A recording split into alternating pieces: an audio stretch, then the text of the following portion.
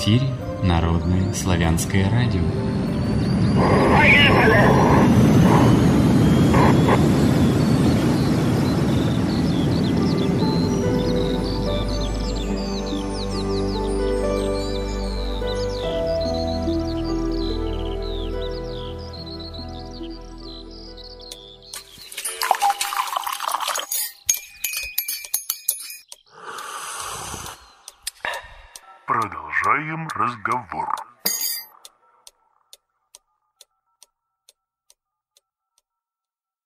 Продолжаем разговор на Народном славянском радио. Напоминаю, что сегодня у нас по одному из современных календарей 10 апреля 2018 года вторник, по одному из старинных 40 день месяца пробуждения природы, 7526 лета вторник. Уж не знаю, кого там что пробудилось, не пробудилось, а вот у нас сегодня была гроза.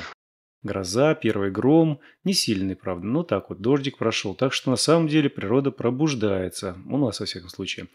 Мы рассматриваем тему тела света и рассматриваем ее при помощи Александра Жаркова. Первая часть пролетела на одном, так сказать, дыхании, и мы переходим теперь уже к вопросам репликам, которые приняли, напоминаю, в чате Народного славянского радио, slavradio.org. Там далее ищем чат «Беседка». Э, естественно, что зарегистрироваться надо, это делается один раз, и несложно, и не больно. А также на нашем канале в YouTube, youtube.com slash slavradio. Slavradio пишется одним словом. Итак, первый вопрос в эфир пришел от подсолнуха. А что представляет собой кавычках «пятое измерение» по отношению к предыдущему. Почему оно называется в кавычках «пятым»? Ну, на самом деле классный вопрос. Об этом можно прочитать еще отдельно целую лекцию. Но если, как говорится, совсем-совсем-совсем вот вообще максимально настолько упростить, то мы и физики понимают так, ну вот назовем так, э, человек третьей плотности, вот той, которой мы живем. То есть мы живем инстинктами, мы живем побуждениями, мы верим в, только в обстоятельстве. Мы практически не можем поменять свое мышление. То есть если мы сейчас говорим о таком. Человек четвертой плотности, он осознает и создает свою реальность своими мыслями и убеждениями. Он уже обладает экстрасенсорными интуитивными способностями и любит преобразовывать, склонен к изменениям, то есть пользуется своими способностями на благо человечества, ну и как бы явно для улучшения его. Ну, уже пятое измерение. Это человек, который живет открытым сердцем и полон, безусловно, любви к себе и к другим. То есть это смертное физическое тело превращается в бессмертное кристаллическое. Для людей четвертой плотности выглядит как светящиеся существа. А вот для людей третьей плотности этого еще не видно, но когда у вас будут открываться способности, вот детки, особенно маленькие, они видят, когда люди светятся, а те, которые занимаются практиками, и у них открываются так называемые нимбы, верхние и нижние нимбы, вот, которые видели, вот, может, у святых на иконах, там, на всяких э, изображают, так она светится. Если человек очень много молится, то она может даже проявиться в физическом мире, когда энергии достаточно. То есть такое есть. Ну, дети, которые обладают способностями, они очень хорошо это видят. Поэтому мы будем просто по простым языком светиться. Это я сейчас такой банальный ответ сказал. Можно, конечно, и ответить на уровне э, квантовой физики, но я думаю, мы сейчас не об этом будем говорить. Надеюсь, я по-простому можно сказать так. То есть уровни сознания, через которые мы будем проходить. То есть мы вначале наблюдатель, который использует ум, мысль, чувство, эмоции в большом содержании. Следующий уровень, который мы перейдем, все мысли, чувства, эмоции, ощущения состоят из энергии, и мы уже начинаем управлять четвертым измерением. Следующий уровень, мы уже понимаем, что мы создаем то, что мы наблюдаем, и далее вот это вот, вот это вот уже пятый, пятое измерение – и вот, ну, вот четвертое, пятое переходное, это физическая вселенная и состоит из пространства и массы времени, которые мы создаем мыслями. То есть мы уже сами управляем. То есть мы не заложники того, что нам дали. Вот мы, мы каждый, я думаю, хочет поменять явно тот стиль жизни и уровень жизни, который он хочет, но ему обстоятельства не дают. То есть мы заложники коллективной мыслеформы, которая навязана и она проникает. Ну и дальше вот это уже все объемное, оно начинает проникать и меняться и взаимодействовать. Ну, если так совсем простым языком, надеюсь, я ответил. Я тоже надеюсь. Идем дальше. Белый пес. Чувствую в груди выше солнечного сплетения холод и пустоту. Что это значит? Раньше чувствовал жар. Благодарю. Как мы знаем, тонкоматериальные структуры, они проявляются не... Э, ну, жар – это означает, что наше физическое тело проявляет энергетическую структуру, то есть там где-то есть какие-то блокировки. То есть этот цвет, энергия духа пытается двигаться с большой скоростью и пытается вытеснить тот или иной негатив. Как мы знаем, вот эти вот состояния самадхи или нирваны, это пограничное состояние, которое переходит вот в божественные истины, оно такое прохладненькое. И это вот состояние взаимодействия с высшими силами, это состояние взаимодействия с высшими сутями. То есть это не как бы и не, и не совсем холод, и не совсем жар. То есть это состояние такого легкого прикосновения. Это как раз оторвание этого состояния. А когда оно будет переходить более-более высокий уровень, оно произойдет безусловную любовь. То есть это, это не означает, что вы замерзнете. Это означает, что оно будет такое приятное покалывание. Возможно, даже кто-то ощущал, как такая электролизация, как, как ну, лег, легкий такой электрический ток проходит. Вот как-то так. Поэтому на самом деле это, это хорошо, это неплохо. Хорошо. Далее, Стефани. Вопрос в эфир. А можно астрально переместиться в другую реальность? И как мы там будем выглядеть? Как привидение для местных? Ну, вообще можно сделать все, что угодно, если у вас сознание хватает и позволяет вам это сделать. Просто не только реальность. Мы вообще, кстати, сейчас живем в другой реальности, и все предсказания, которые там э, известными умами и предсказателями, они не работают так, как говорилось ранее. То есть по факту мы уже здесь. Но можно переместиться, просто нужно понимать координаты, точки, можно управлять PN-переходами, знать, э, как происходит сборка вашего сознания и смещать точку сборки в то пространство и знать, определенные характеристики протонов и нейтронов того пространства, в котором вы собираете свою фантомную энергию. Нужно просто понимать еще, куда вы хотите из, из количества измерений и миров вы хотите переместиться. То есть можно вообще переместиться хоть на Венеру. Просто вопрос, хватит ли у вас А потенциала, Б, знаете ли вы, разбираетесь ли вы в космические законы, управляете ли вы своими телами, ну и так далее. То есть если у вас есть как древности, в Ведах об этом написано и в многих-многих других источниках, то, что наши предки могли без использования всевозможных космических летательных аппаратов перемещаться во времени, и высшие учителя это делали. Но можно это делать и без помощи физического тела, только проекции. Просто вопрос, мы не ограничены ничем, вы ограничены лишь только своим умом ум ограничивает ваше сознание. Если вы можете это сделать, то это можете сделать. Ну, самый простой пример я сейчас приведу. Самый простой. Вот давайте сейчас все слушатели представим Ниагарский водопад. Теперь, я не знаю, это, это уже, наверное, в комментариях кто-то напишет, я комментариев не вижу. А теперь ответьте, вы хоть раз были на Ниагарском водопаде? Я понимаю, кто-то, может, видел картинку, кто-то, может, видел там, я не знаю, видео Ниагарского водопада. Но по факту сейчас каждый фантом находится на Ниагарском водопаде. Кто-то ну, в том пространстве, где кто-то слева, кто-то сбоку, снизу. То есть, если надо, то можно даже и проявиться, но это уже коллективные практики медитации. То есть, по факту, мы сейчас переместились в пространство. То есть, по такому же принципу мы сейчас можем, ну, это я вот частично там дал, помог своим потенциалом вам зафиксировать вашу точку сборки на Ниагарском водопаде. То есть, если бы коллективно все бы понимали, о каком пространстве идет речь, то можно было и переместиться туда. А зависит от того пространства, куда мы перемещаемся, э, или в тот мир, в который мы перемещаемся, там мы и будем. Будь то мы будем привидением, будь то мы будем, мы можем переместиться и создать себе голограммный образ того существа, которым есть в том пространстве. Все зависит от того, куда и зачем и почему, и для чего это надо. То есть поэтому лишь бы ради чего это делать, ну зачем? Нужно это делать ради смысла. То есть какой смысл? Поэтому всегда задавайте вопрос себе. Вопрос, а зачем? Хорошо. Да, Анжела, конечно. вопрос в эфир. Как же нам приспособиться к пятому измерению? Это очень правильный вопрос. Начните с мышления. То есть, когда вы будете работать э, над своим мышлением, у вас в ДНК заложена программа вознесения, шаблон вознесения, так называемый мастер-шаблон, который поможет вам убрать весь негатив, всю вашу Вы что думаете, вы сами себе все спланировали? 200 триллиардов клеток, которые ежесекундно управляются ваш, вами же, своим же сознанием, которые там копируют, кровь движется, вода движется, все движется, там все там переваривается ежесекундно. То есть вы очень продуманный механизм, который работает. Поэтому он точно так же знает, как ему лучше адаптироваться и перейти. Просто вы это можете процесс ускорить намного быстрее.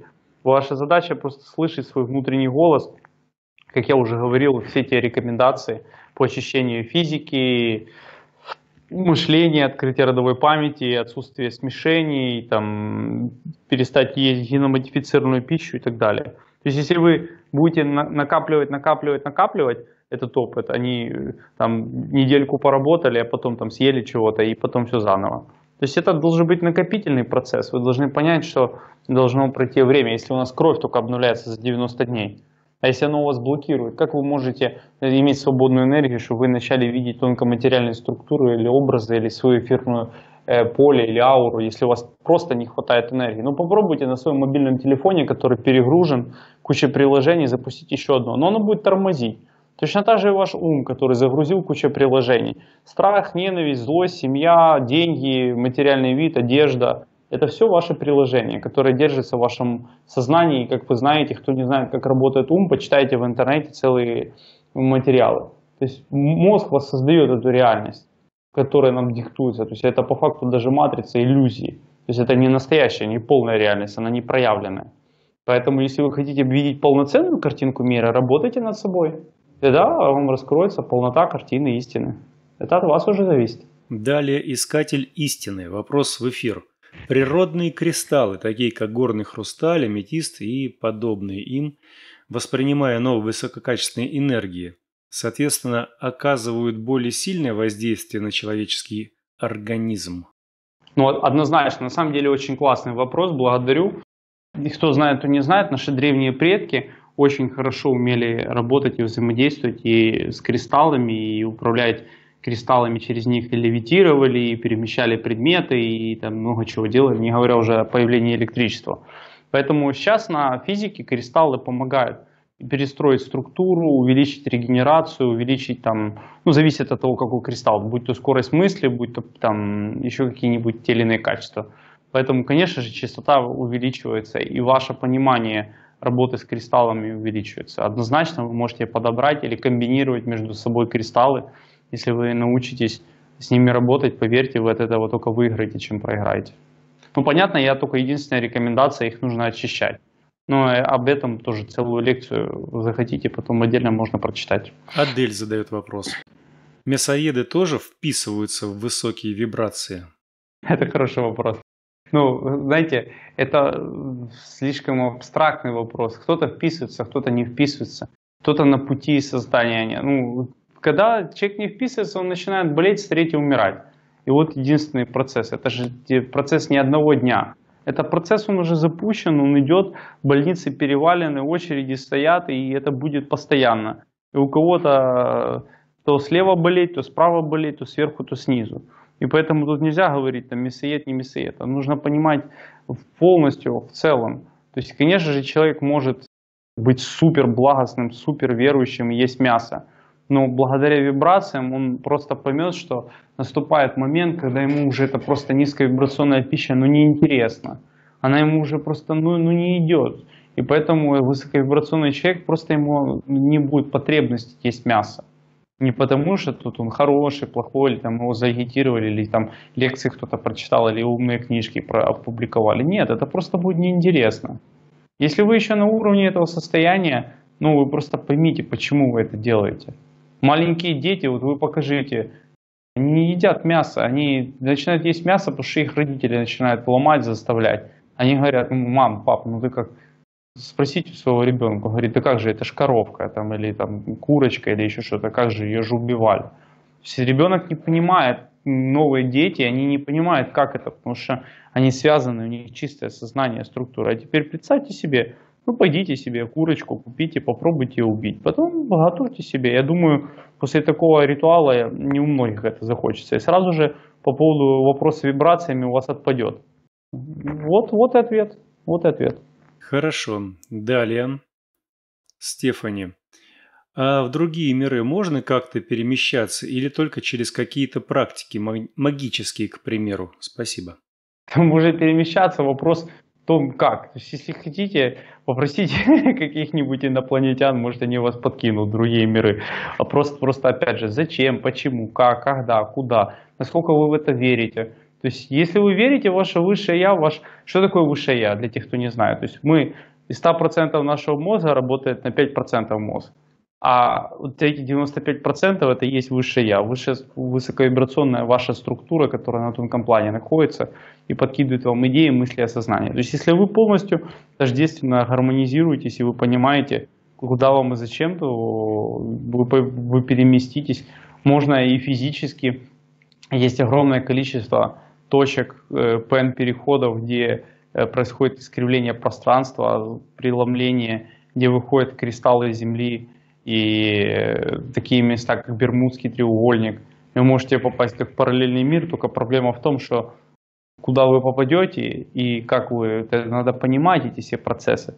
Может, вы попадете и в пространство и сразу же там умрете. Ну, то есть вопрос в другом. Ну, или в третьем, опять же говорю, сознание наше не ограничено. Вы можете путешествовать куда вы хотите. Просто опять же вопрос, зачем, почему, как и куда. То есть, если вы знаете ответы на эти вопросы, пожалуйста, хоть каждый день. Мало того, хочу сказать, те, которые сейчас задают эти вопросы, я вот я вас смотрю, вы это во сне очень хорошо делаете, и так каждый день вы, я вижу, хакерами сновидений занимаетесь. Поэтому берите, путешествуйте себе, можете и на физике сознание размножать. Главное, чтобы вы понимали, как это потом поможет вам, вашей семье, родным, близким. Если это развивает вас ежедневно, конечно, это нужно делать. Просто вопрос Главное, чтобы это вам нравилось и приносило пользу, и вы это любили. Если это ваше предназначение, почему так нет? что, Стефани, бойся. Александр тебя насквозь видит, как рентген. Дальше. Виктор Куприянов. Вопрос в эфир. А если родные не воспринимают идеи, которые ты им несешь, что делать? Это самый классный вопрос, один из моих любимых. Ну, во-первых, мы приходили, выбирали наших родителей, поэтому это наш самый, самый высший экзамен. Это самый-самый высший пилотаж. То есть если вы поможете душам, которые там на низких уровнях вибрации, но это не означает, что, как мы знаем, лучше выполнить свой долг хоть и плохо, но самолично, чем чужой, но сверхотлично. Поэтому не надо там поставить смысл вашей жизни научить ваших родных и близких всему тому, что вы уже научили, наработали за многолетия. Ваша задача максимально с любовью доносить эту информацию и показывать своим примером. Ну и давать им возможность хотя бы, э, если просят помощи, конечно же, по законам иерархии космической, помогайте им, давайте помощь, благодарность. И они будут осознавать, кто-то может читать об этом, смотреть, пробовать. Но так вот прямо, что вы пришли, обвалили их книжками, заставили их медитировать в возрасте, или там сказать так, все, с сегодняшнего дня ты там переезжаешь на место силы. Ну и, конечно, для них это будет шок, и они подумают, что вы сумасшедший. То есть это надо делать для нормального понимания сознания. То есть зачем и почему, что сам человек до этого дошел. Если сам человек до этого не дошел, для него и будет боже, ну, болезненным. Он будет себе думать, что он мясоед, и себе изнутри съедать свое мясо, которое внутри потом он будет болеть. То есть не надо себя обманывать, нужно это все делать искренне. Просто э, учитесь. Я об этом рассказывал на предыдущих эфирах. Это одна из моих любимых притч э, в древних индийских храмах. Есть эта притча, она написана. Там очень классно написана притча, когда, если знаете, есть такие касты. Ну, вот у нас варная, там есть касты. Кастовая система рождаются. Ну, есть вот ведущие брахманы, ну и там ниже касты всевозможные там шудры. Ну, в общем, как обычные люди, там рабочие, труженики. И вот представьте себе, ну смысл какой, когда ты рождаешься в этой касте, ты там рождаешься, там ведущие люди, к примеру, и там они рождаются у ведущих людей, и они обучают всех, а если ты рабочий, то ты в касте рабочих, и ты постоянно занимаешься рабочим ремеслом. Ну вот такой вот подход, и как бы у них запрещено между низшими кастами с высшими кастами браки заключать. И вот представьте себе вот такую картинку, когда и обычный человек в обычной семье, э, там, бог знает в каком поколении, в 15 поколении семья выращивает рис. И вот он говорит, так, все, я не хочу быть обычным рабочим, я хочу быть брахманом. Ну, они говорят, ты что, с ума сошел, ты сумасшедший? Нет, какой ты брахман? Нет, это невозможно. Говорит, нет, все, я буду брахманом и до свидания. Но они его побили, выгнали. Но он обиженный, как это, что, же это поделать? Ну, он ушел, зашел на всем известную гору в Индии, сидит, молится, молится, молится, молится. Вот проходит, два проходит. Но он был умным, мудрым человеком. Ну, люди приходят, смотрят, мужик какой-то сидит бородатый. Ну, значит, по-любому брахман. Ну, ему не задают вопросы, задают те просьбы, которые там приходят. Хоп, он отвечает раз, два, три, помогает, там, медитирует, находит ответы, э, кого там исцеляет. Ну, и как бы люди, э, когда они, ну, так принято, кто при подношениях, кто деньги несет, кто еще что-то. И вот прошло много лет, и он уже стал очень известным брахманом во всем окружении. Э, ну, он думает, ну все, меня же уже все знают, и деньги есть уже. А он деньги не тратит, он в гараж живет, зачем ему деньги? И он спускается с этим мешком там, денег, там, повозку там снарядил, спускается, возвращается в селение к свое и говорит, ну вот моя дорогая семья, я вернулся, вот, пожалуйста, вот вам деньги, я вот уже брахман. А они, ах ты мерзавец, ты нас бросил, мы без тебя столько земли надо было обработать, столько мозолей, мы там болели, корячились, а ты бросил вот это ради своего эгоизма. Все, убирайся, мы тебя вообще видеть не хотим. Он вообще в шоке, как, типа, ну все же есть, я уже, уже стал брахманом, они все равно, я уже просветленный, они не принимают. И брахман понял, что для того, чтобы они поняли, нужно и разговаривать на их языке. И что он сделал? Он понял, что они продают рис.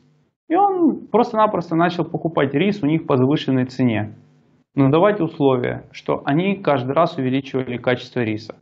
Когда они начали читать о том, как делать упаковку, как выращивать рис, они обращаться начали к мастерам, к учителям разным другим, чем то, что они делали. То есть вышли из зоны комфорта. Они начали понимать, читать книжки, а для того, чтобы читать книжки, нужно было выучить язык и так далее. И тогда они начали понимать его, и только тогда они его приняли. Это древняя мудрость, которая по сей день э, работает. Поэтому, если вы хотите научить своих родных и близких, разговаривайте на их языке ихними примерами. Да, это тяжело, но для вас это тоже великое мастерство научиться поднять их души не в ущерб себе. Самое важное. Вот так. Надеюсь, я ответил. Хорошо. Идем дальше. Стефани, вопрос эфир. Слышала про то, что если есть сырое мясо, то износ нашего тела повысится в продолжении жизни. И разум чист, и душа. Правда? Спасибо. Если наше физическое тело изнашивается, разум чист, и душа не может быть. То есть мы, э, опять же, по космическим законам все связаны. То есть если вы выбираете мясо и едите мясо, то вы гробите автоматически свое сознание просто спускается на низкий уровень вибраций. То есть ваша задача находиться в более высоких уровнях. Не может быть ваша душа высоковибрационная, она может быть чист, чистой, когда вы едите мясо. Еще раз вам говорю, когда у вас раскроется тонкоматериальное видение или ощущение, вы будете чувствовать всех тех, которые едят мясо, э, от них внутри органы гниют, это, ну, я вам говорю каждый день, как человек, как целитель, который принимает кучу людей. И я это знаю, вижу, сам чувствую. Но слава богу, что стараюсь блокировать уровни а, обоняния, а у другие, как бы это, кто умеет, кто не умеет, им тяжелее. Поэтому я не могу сказать, что мясо это очень-очень благостное и правильное, и оно там позволяет сохранить вашу душу и сознание. Ничего подобного. Вот так. Хорошо. Идем дальше. Влад, вопрос эфир. Как найти свое предназначение в плане хобби или необходимо сначала очистить карму?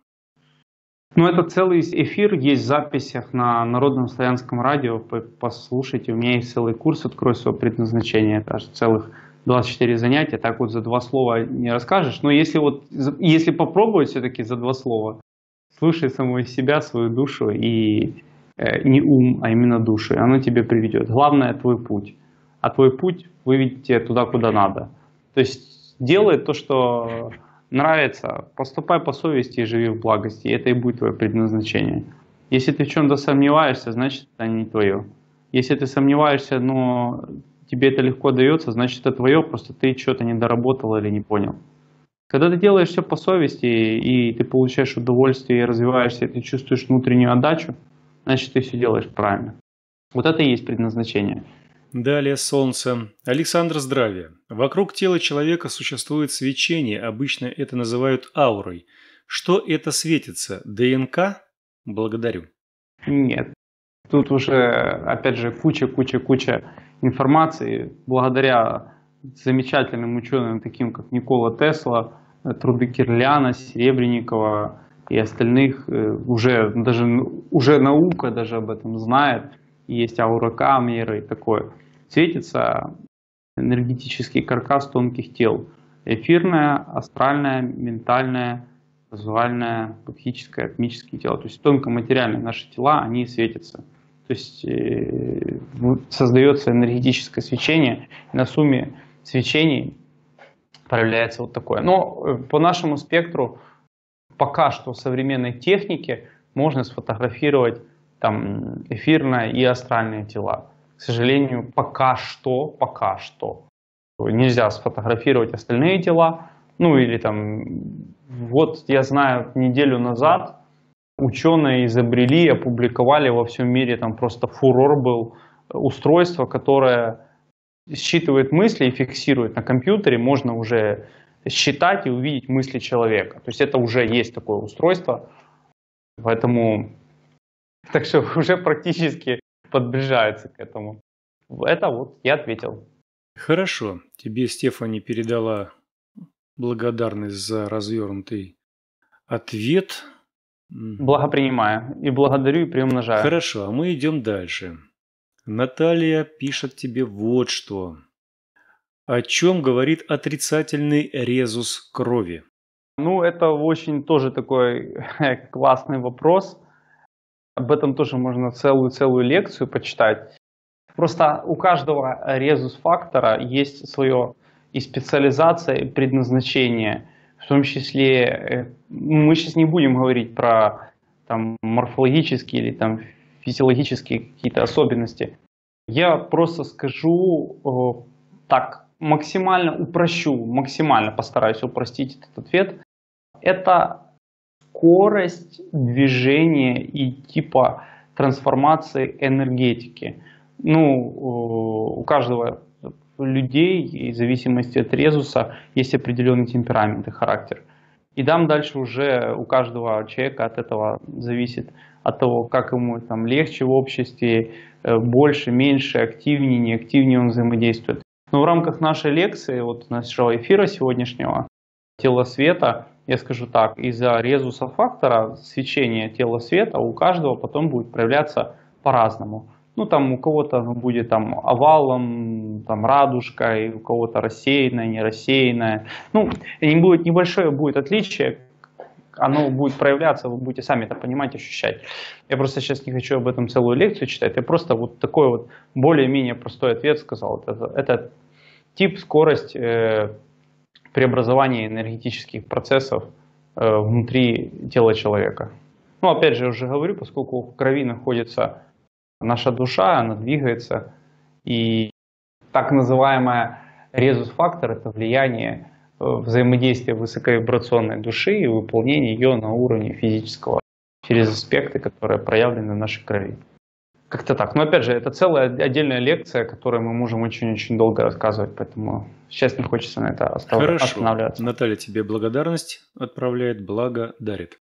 Да, Влад, вопрос эфир. Если было переливание крови и донор неизвестен, как очистить чужеродное влияние? Мне сразу такое уточнение. А если был известен, очищать не надо?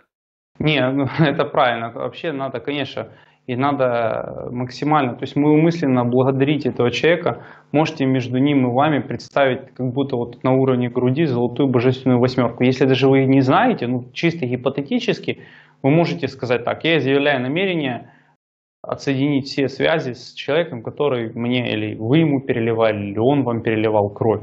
То есть, если вы не знаете, у вас какой-то образ, там, мнимый или не мнимый, появится, даже если вы этого человека не видели никогда в жизни. Может быть, отдаленно появится какой-нибудь силуэт или голограммка. И вот вы между ним, и вы можете представить себе и сказать, благодарю тебе там за то, что ты там дал мне там свою кровь, дал свою там энергию э, для того, чтобы, ну для чего-то это же процесс происходил. я благодарю, я возвращаю. Ну, есть специальные молитвы, кто захочет, захочет, может их найти. Ну, или простым языком, вот сейчас силой намерения сказать, я возвращаю тебе все твои энергии, опыт, э, знания, э, навыки, забираю все свое себе. Э, благодарю тебя за помощь, посылаю тебе свет и любовь за то, что ты там помог мне, ну, почему там надо было этот процесс произошел. И мысленно представьте себе, что это происходит. То есть это надо делать эту практику. Ну, желательно, вы знаете, э, наша структура перестраивается и 40 дней, если вы каждый день это будете делать, то это энергетически отсоединится. Если у вас какая-то очень там супер какая-то глубинная связь или там очень много крови, ну, переливание было, я не знаю, может там серьезная какая-то операция, то там желательно это 108 или даже 144 дня. То есть делать такие практики. Ну, это надо делать по внутреннему состоянию. То есть вы должны четко почувствовать, что вы действительно уже у вас нет взаимосвязи с этим человеком, который вам это делал. Ну или опять же, либо видеть, либо-либо. Но поверьте, чем больше вы будете развивать свое видение и ваше кристаллическое тело света, которое уже мы сегодня активизировали, оно вам очень сильно поможет в этом. Хорошо. Лолита, вопрос в эфир. А если техника по поиску необходимых предметов? Ой, да валом. На самом деле техник я уже сколько мониторил, я где-то 52 штуки нашел таких техник. Э, в интернете их очень много. Ну, самый простой, то есть вы можете представить предмет, берете, представляете предмет, представляете себе свое, ну вот как говорится, с третьего глаза, мысленно представляете между бровей, не знает, такая как бы точечка. И мысленно создаете такой лучик, такой вот сине-фиолетовенький лучик к этому предмету. Даже если вот вы не, не знаете, где находится предмет, вы просто создаете лучик, и потом этот лучик э, пропускаете, как будто он э, уходит в землю и через землю возвращается к вам. Потом закрываете глазки, хотите, можете рамку взять или, или маятник, если ну, хотите подручные средства. Если нет, просто вот как будто попробуйте, чтобы ваше тело само вело. Вот оно для того, чтобы почувствовать сенситивность, э, вы можете закрыть там свои глаза, к примеру, сейчас, ну, после, после эфира, встанете, зададите вопрос, сказать там, допустим, моя душа, я там в ближайшее время поеду там куда-нибудь, ну, неважно, на отдых, к примеру, там, в Египет, сделать шаг влево и представить себе, что вы в Египте. И потом стать по центру и сказать, там, моя душа, я не поеду в Египте, я останусь, где я там есть. И стать вправо. И потом по центру снова стать и позволить вашей душе делать этот выбор. И вас наклонит либо влево, либо вправо. И вы можете проверить таким образом. И вот то же самое. То есть у вас это состояние вас потихоньку будет клонить к этому предмету. Вам можно задать вопрос, ангел-хранитель, помоги мне найти предмет. А еще круче домового, обращайтесь, домовой, домовой, вот тебе там конфетка, помоги мне найти предмет. И он вам мысли будет диктовать. Ваша задача только вот эту говорилку утреннюю ум выключайте, типа, ой, нет, я его не найду, или нет, а вдруг он на работе там или еще. Вот это говорилка. Выключайте ее, говорите так. Я очищаю, я просто хочу понять, где мой предмет. Расслабляйте, хотите, можете помедитировать, ну, неважно. И вот создаете этот луч, он у вас будет спокойненько, спокойненько вести. Ну, кто владеет рамками или маятниками, это гораздо быстрее делается. Ну, хотите, можете в интернете, опять же, очень много информации э, о свойствах геолокации. Вы можете пройти курсы, лекции, тренинги. Это все в открытом доступе сейчас очень много. Поэтому пользуйтесь, учитесь, вам будет полезно. В воскресенье вернулся я из культурно-ведического центра слова, там кое-что преподавал. И вот там как раз э, одно из занятий было посвящено вот поиску предметов, без всяких рамок, там, без всяких, ну, вообще просто так. Ну, много там чего интересного делаем. И вот э, в очередной раз убеждаюсь, что и начинают петь, которые говорят, что слуха нет, и искать предметы, которые необходимы, которые раньше сомневались и не могли даже ничего найти, да и передавать мысли, и принимать мысли. Как говорится, было бы желание, и был бы тот наставник, который правильно мог помочь рассказать. Так что, нич... да, так что это ничего здесь секретного такого нет, ничего страшного нет. Главное верить в себя и чтобы кто-то вам просто подсказал, ну как бы не учитель, тот учитель, который читает, то есть он стоит, читает А, Б, В. Это учитель, а вот тот именно наставник и преподаватель, которые смогут и наставить, и преподать. Вот это вот очень важно. Так что ничего такого страшного здесь нет и ничего удивительного нет. Это все очень просто. Это ну, скажем так, ведическая магия, которая доступна большинству наших всех родичей. Ну что, дальше еще три вопроса здесь осталось. Или что ты хотел прокомментировать?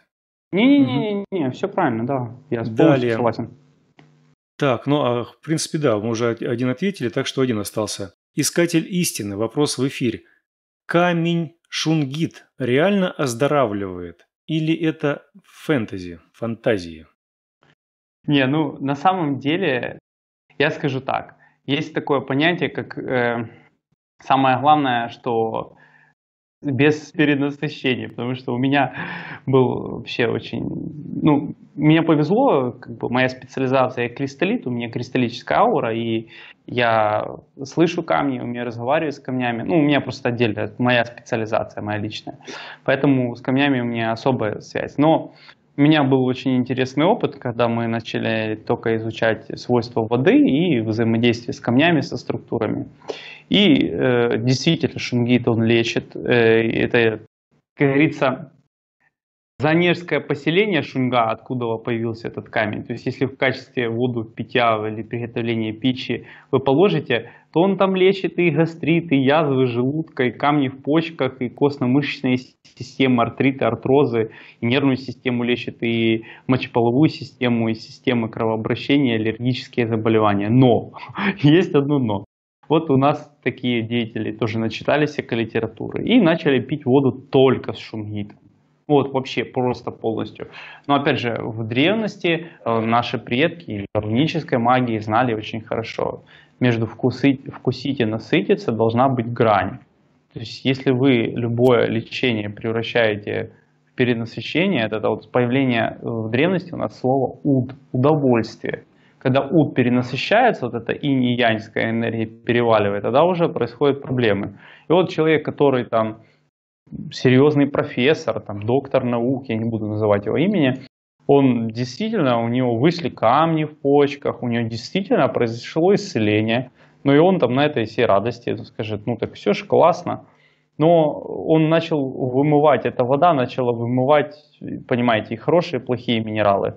Поэтому как профилактической это можно делать, но чтобы постоянно это использовать, э, это уже происходит во вред. Поэтому не рекомендую. Вот, чтобы постоянно. То есть делайте, есть специальная, э, кто знает литотерапию, это лечение камнями, есть специальные определенные пропорции, как лечить шунгитом, какое, какое свойство, какого происхождения, и смотря что вы хотите лечить именно шингитом. Поэтому к этому отнестись надо очень серьезно, с пониманием, а не просто так. Но это действительно работает. Это действительно работает. Хорошо. Все вопросы и реплики я тебе зачитал, ты дал ответы, и теперь мы можем переходить к заключительной части нашего эфира, пожелать что-то доброе, вечное, красивое, ну а может быть какие-то напутствия сказать, а может быть просто так сказать, знаете, я вот тут еще хотел вам что-то такое добавить. Пожалуйста. Да, благодарствую. На самом деле я хотел всех поблагодарить за то, что у нас сегодня такая аудитория, все те, которые будут слушать записи это те люди, которые готовы двигаться и развиваться. И сейчас самое важное время, когда нужно не читать уже, а действовать. Э, моя задача вас пробудить к действию практики. То есть именно практиковать, чтобы каждый день учились, неважно, молились, сканировали еду, заряжали ее, водой работали, работали со своим телом, очищали свои мысли. Вы должны вот даже в свое время там древние просвещенные учителя говорили, тот, кто в надежде обрести счастье, мучает или убивает другие живые существа, которые тоже стремятся к счастью, закрывает себе путь к счастью. То есть не нужно убивать своим словом, действием, помышлением, нужно понять собственное предназначение, понять, и вы поймите, будет только новый рассвет и будет много побед, надо просто верить в себя, что у вас другого выхода нет, стать просветленным, и вы сейчас живете в уникальное время, в котором вы ждали множество воплощений или даже множество сотен воплощений. И это время нужно отработать по максимуму. И сейчас уже на том уровне знаний, который вы имеете, и с тем багажом, который вы накопили, постарайтесь максимально использовать во благо себя, своих родных и близких, а потом уже общества. Потому что сейчас критически просто пространство нуждается э, в этом. И самое главное, нужно быть последовательным. Не просто там один разок, вот сейчас мы послушали там радио, и потом ждем следующего эфира, потом нам что-то снова очередное скажет, а мы пока на работу пойдем, посидим там, поработаем. Нет, нужно быть последовательным, не бросать старого, не найдя нового. Создавайте условия перехода и работайте, работайте, работайте, работайте. Пусть каждый последующий шаг не противоречит предыдущему. Тогда в вашей жизни будет предназначение. В жизни всего лишь это нужно радоваться мелочам, тогда мы можем доверить и открыть себе что-то большее, например, как божественная любовь. И это то самое состояние, которое каждый будет э, чувствовать. Только когда большинство, большинство людей сможет в этом состоянии находиться, только тогда мы перейдем. Планета-матушка не может бросить живые существа, которые еще здесь хотят проходить этот опыт. Она уже там, она уже на высоковибрационных энергиях, но она очищается. Она хочет, чтобы мы помогли ей и самим себе. В человеке громадная сила. Только нам решать, как нам ее использовать. И в завершение я хочу сказать, важно не количество знаний, а качество их. Можно знать очень многое, но не зная самого нужного, как говорил Лев Николаевич Толстой. Поэтому в конце концов не годы, как вы живете, а жизнь в эти годы. Будьте ведущими, и частица Творца будет проявляться вокруг вас. Желаю вам всего самого наилучшего, счастья, благости и радости. Благодарю. До скорого. Благодарю. Очень э, позитивный настрой. И благодарю, что с нами был столько много времени и поделился своими знаниями, наработками. Я всех Хочу также поблагодарить за активность вашу, за добрые призывы, позывы и общение в чатах Народного славянского радио, как на нашем сайте, так и на канале YouTube.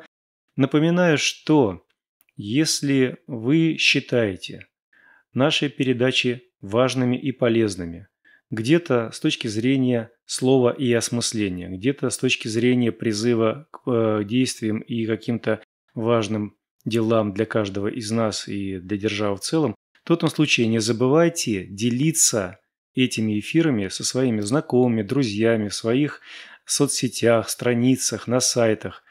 Помните, что если вы не поделились какой-то важной мыслью, то для кого-то этой мысли просто нет. Какая бы она великая ни была, ее просто нет. Если человек не знает об этой мысли, она для него отсутствует. Она в жизни не проявлена. Э, к сожалению, а может быть, к счастью, я не знаю, не мне это решать, у нас так сложилось, что те, кто ведет себя не очень хорошо, они очень активны. Ну, такой склад ума у них. Они очень активны, они жмут постоянно какие-то клавиши, что-то там пишут, мышкой дергают. И вот они любят ставить дизлайки, так называемые, палец вниз тоже называется, писать какие-то там глупости, иногда гадости. Ну, потому что так они устроены. Естественно, что глупости и гадости – это на их совести, какие-то ругательные слова или там никчемные мы удаляем, потому что хамство можете только у себя на кухне проявлять, это или перед зеркалом, это ваше личное дело. В нормальном обществе это не допускается, поэтому не обижайтесь. И так я предупреждаю тех, кто, если вдруг захочет так себя как-то выразить по-детски, дело это ихнее, но я также обращаюсь к тем, кто мыслит э, по-доброму, мыслит с точки зрения державности. Помните, если вы не поделились, этого, еще раз напоминаю, нет для других людей. Поэтому делитесь, отмечайте, комментируйте, пишите свои пожелания, но делайте это там, где мы вас можем увидеть. Это сайты Народного славянского радио, наши соцсети, ВК, Фейсбук, э, Одноклассники. Это наш сайт славрадио, одно слово, .орг. Это наш канал Ютуба, youtube.com slash славрадио, тоже одно слово. Вот там мы вас увидим, вот там мы вас прочтем. И если ваше предложение или реплика будут очень важны для всего нашего мира, то в этом случае мы обязательно на него отреагируем и обязательно передадим кому-то, кто в следующий раз будет вести замечательную программу. На сим я с вами прощаюсь. Напоминаю, что сегодня по одному из современных календарей 10 апреля 2018 года вторник, по одному из старинных 40 день месяца пробуждения природы 7526 лета тоже вторник. Мы говорили про тело света в виртуальной студии с Александром Жарковым. Вел беседу Алексей Орлов. Еще раз низкий поклон всем участникам. До новых встреч, друзья мои. Увидимся и услышимся. Быть добру. Быть добру.